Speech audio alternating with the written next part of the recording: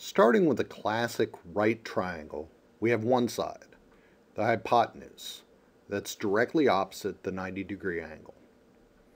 The other two sides of the triangle are adjacent to this right angle.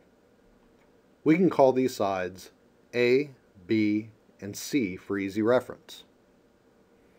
If we create two squares based on the lengths of the legs of this triangle, it's easy to see that the areas of these squares are a squared and b squared, respectively.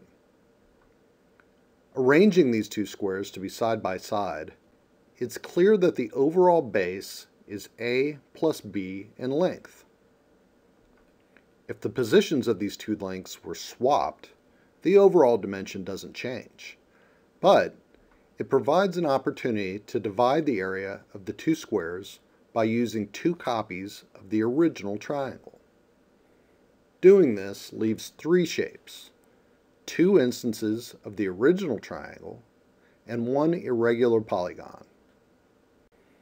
Through a bit of geometric gymnastics, we can pivot the two triangles on their corners to nest perfectly within the irregular polygon to create a square with sides of length c and an area of c squared. Recalling that this new square was constructed from the parts of the original two squares, we've shown that a squared plus b squared equals c squared, which is the Pythagorean theorem.